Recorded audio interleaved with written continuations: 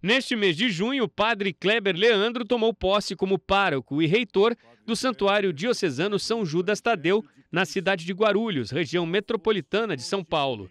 A celebração foi presidida pelo bispo Dom Edmilson Caetano. Recebe a chave da igreja e cuida da parte do povo de Deus que te é confiada.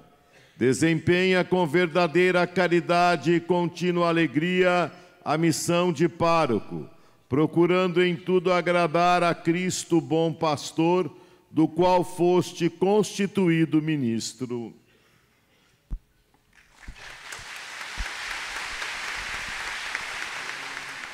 Uma celebração que contou com a presença de diversos padres da diocese, autoridades da cidade e convidados a igreja ficou completamente lotada. A emoção foi muito grande, a confiança e ver a alegria dos fiéis, a alegria do acolhimento da comunidade paroquial de São Judas, a alegria de toda a cidade de Guarulhos, o povo de toda a região. Então foi muito, eu fiquei muito feliz com a recepção, fiquei muito feliz de ver como o povo me acolheu, como o povo tem me acolhido aqui. Eu acho que é maravilhoso. A missão do padre é governar, santificar, ensinar à luz do Espírito Santo. Então significa é, ser um homem que deixa o Espírito Santo conduzir, deixa o Espírito Santo agir e faz aquilo que Deus quer de nós, né? Ser um instrumento na mão de Deus para a obra da evangelização.